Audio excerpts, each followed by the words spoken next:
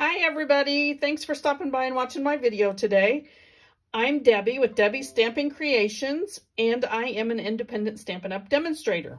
I'm really excited to show you this card today and I wanted to show you what products we were going to be using. In the mini catalog, the July to December 2021 catalog, this is a suite that's in here. We have suites, which include usually your stamp set and die bundles. It also has designer series papers and usually some embellishments or ribbons to go with it. Today we're going to be using the stamp set and die and some of the embellishments and the papers. So let me show you what we're going to be making today. It's a super cool card. I'm not sure what this fold is called, but I love to do this with double-sided designer series papers. It's one of those things where you find a fold that you really like and then it's like, oop, got to do it with this one and this one and this one. So anyway, as you can see, this is tied with ribbon. This is a ribbon that's in our mini catalog. It's got the glittery on it.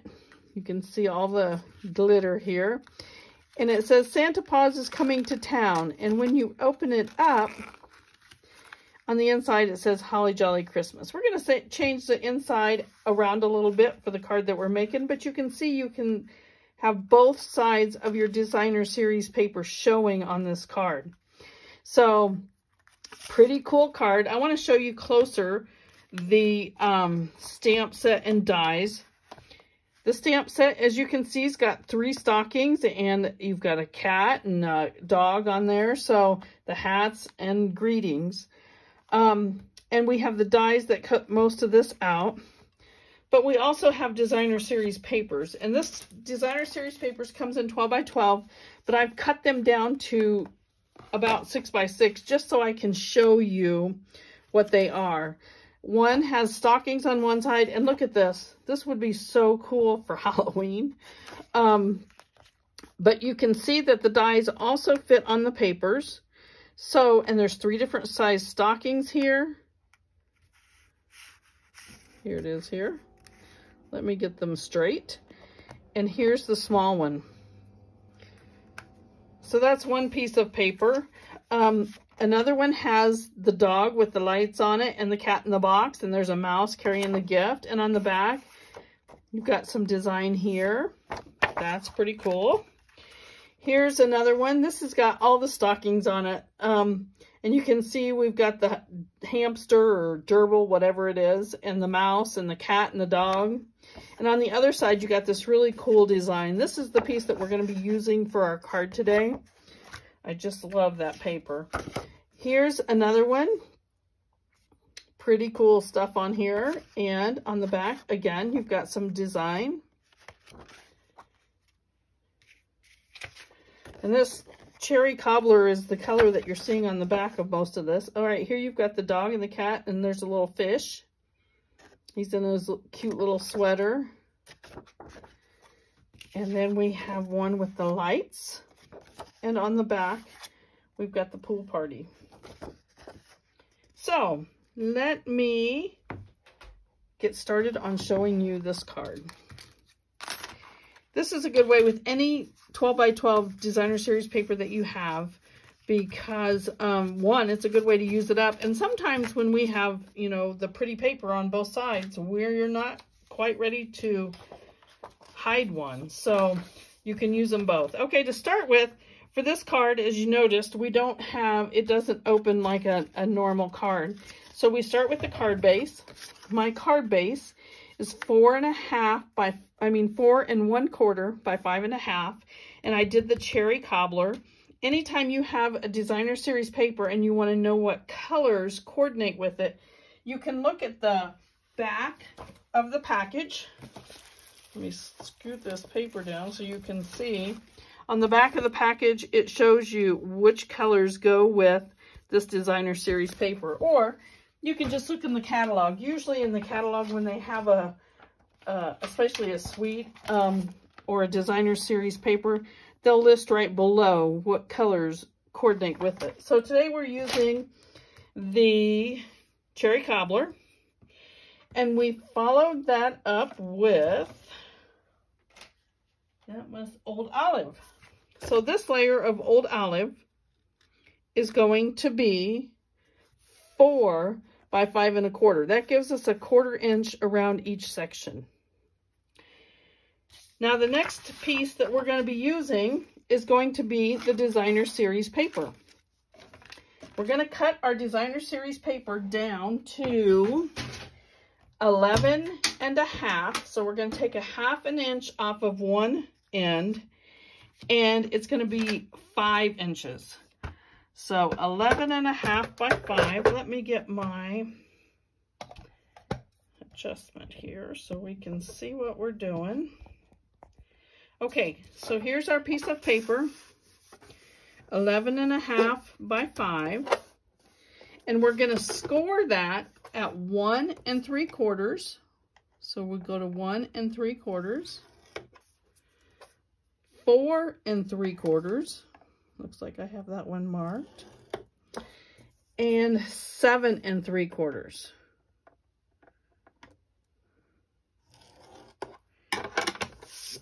When I have bigger pieces of paper that I'm going to be scoring, I like to bring in the scoreboard, uh, the scorer, rather than doing it on my paper cutter.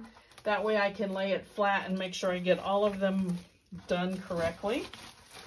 Okay, so now that we have that scored, we're going to fold this. Let's get our bone folder out here.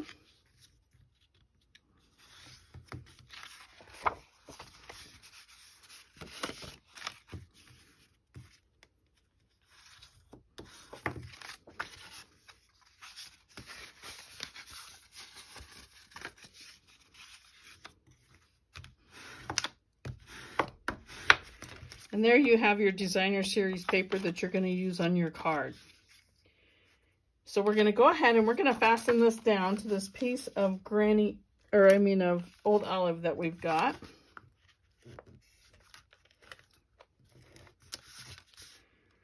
And if you wanted to, you could turn it over so the other side is showing. Um, that's a good thing about this. It's two-sided paper and um, so you can get the design that you want.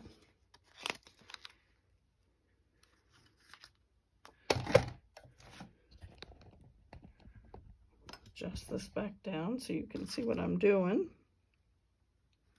So we're going to layer that on there.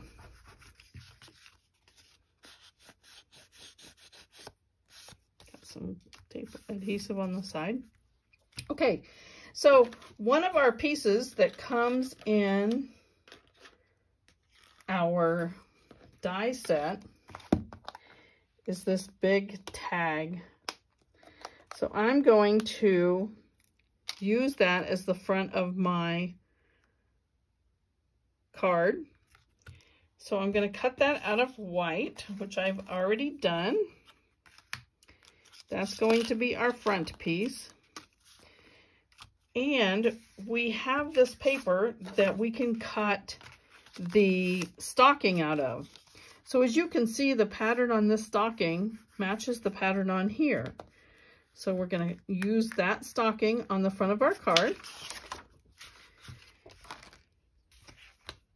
And voila! I've already got that one cut too. Okay, now we're going to do the dog um, coming out of the stocking.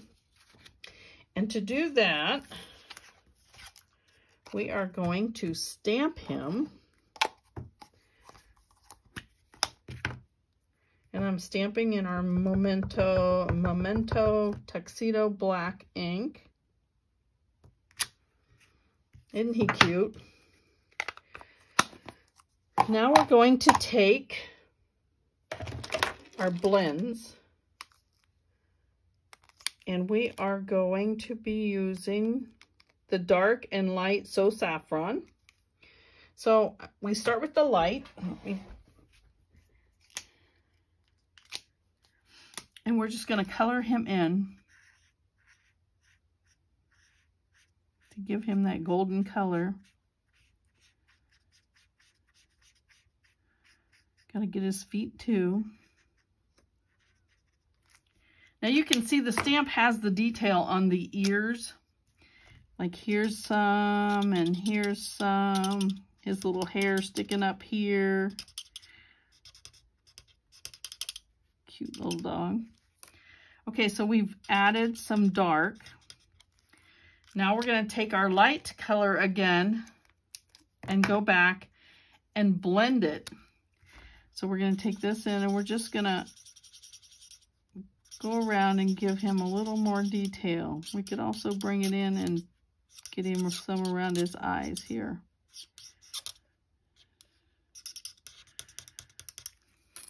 See how that shading just makes it look, gives it a little bit more depth to it. So now we're going to take the die that cuts him out and I'm going to cut him out.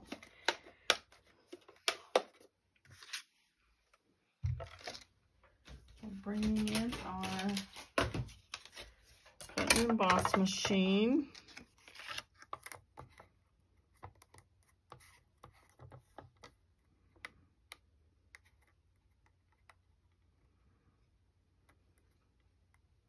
Get it positioned where you want it.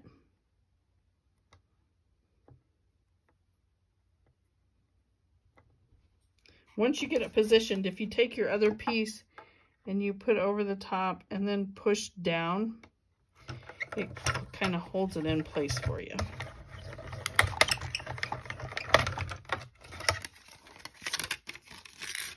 And there's our little dog to go on with our stocking. These are so nice to have. They fold up and store in good space. And Okay, let me straighten things back out here. I'm not quite sure what I did with my die, but I'll find it in a minute. Okay, so for the front of our card, we're going to stamp on here a greeting that says, Santa Paws is coming to town.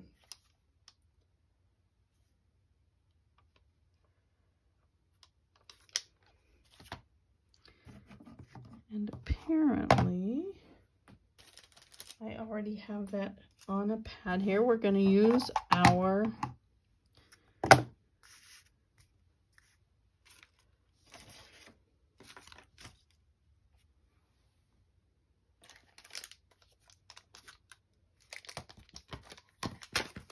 Oh, here it is. Um, we're going to use our, ouch, our cherry cobbler. pad on that. And I'm going to angle this just a little bit. Santa Paws is coming to town. Then we're going to attach our stocking with our little puppy. Screw it down like this. So let me go ahead and attach this. Down here in the corner. And I think I'll put him on some dimensionals, use some little dimensionals.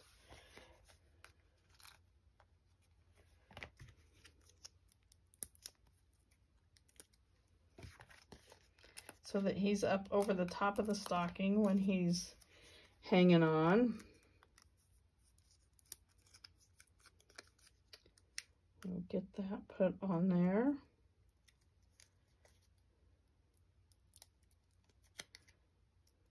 And then to finish it off, or to add a little bit more, we're going to use the package of, see it looks like he's sticking right out of the top of that stocking. Now we're going to use the matte decorative dots that also came in this suite. And we're just going to take some of the little ones to put around just to finish off the area so we don't have them blank spots there. So we can just pick them. As you can see, they come in different shades of the different colors. So all the colors that are in the stocking, or in the paper rather, are in here, and they're just different shades.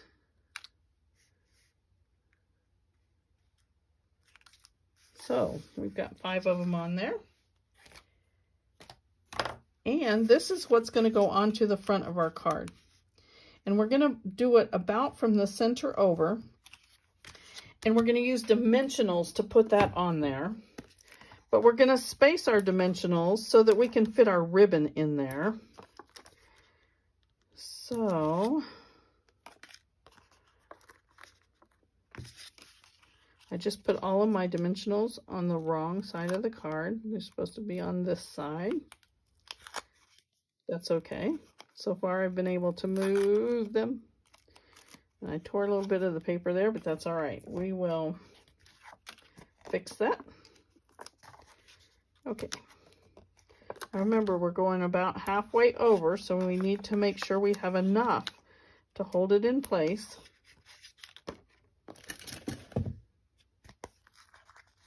I go through a lot of dimensionals. I always like to make sure I have enough that it's going to hold it up. Okay. So, we'll peel these off and we're going to go ahead and stick this on here. And then we're going to go ahead and finish the inside of this before we attach it to the base because I want to add a ribbon and we need to make sure that we have everything else done. So for the inside of this, like I said, we're going to change it up a little bit from what we had the last time. So I'm going to add a couple of white pieces on the inside. And I brought in my stitched rectangles frames so I can cut a couple of these out of white cardstock and we can use those on the inside of our card. So I'm going to bring my little machine back in here.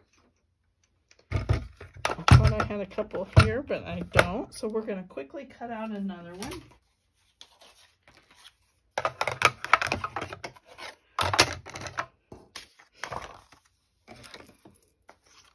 And when you're looking at your um, dies in the catalog, it's going to tell you if they fit on the mini or if you need the larger machine. I have one of these cut out.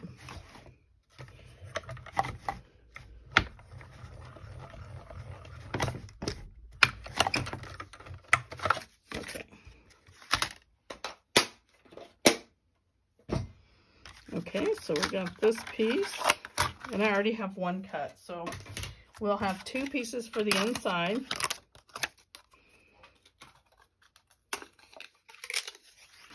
And we're going to stamp all those. Now, I have one greeting out of this stamp set that I'm using.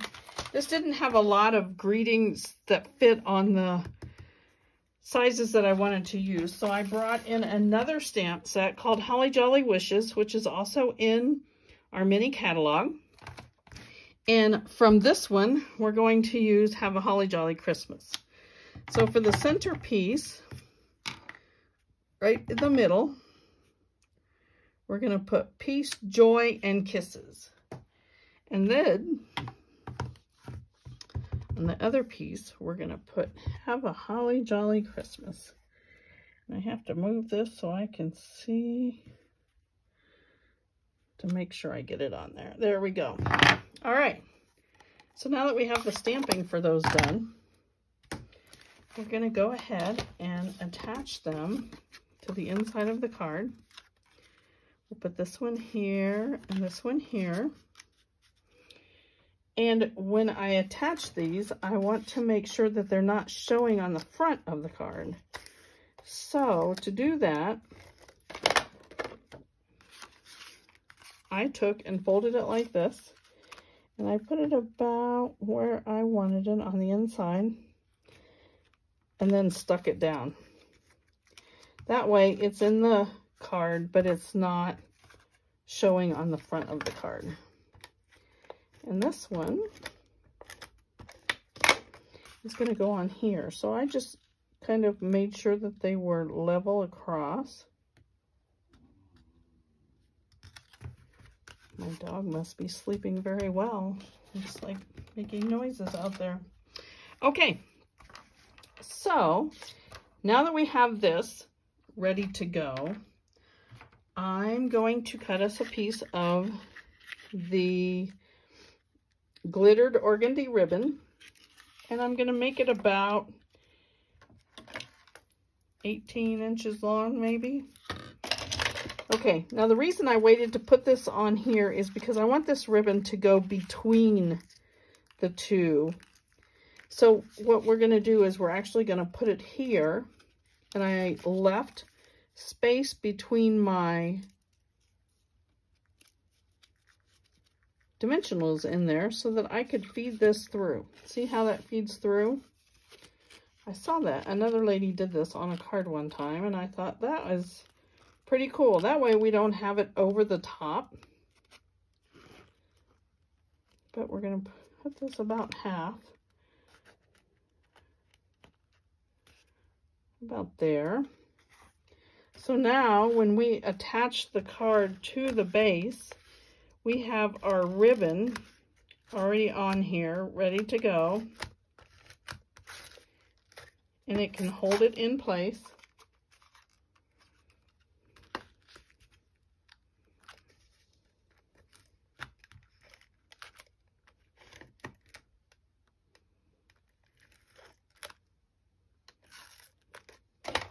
Okay. Now, make sure it's where you want it on the front. And then you can just fasten that down to the card base.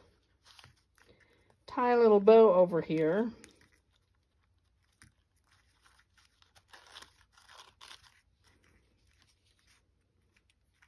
And there's your card. Some people do a whole bow. Some people do a half bow.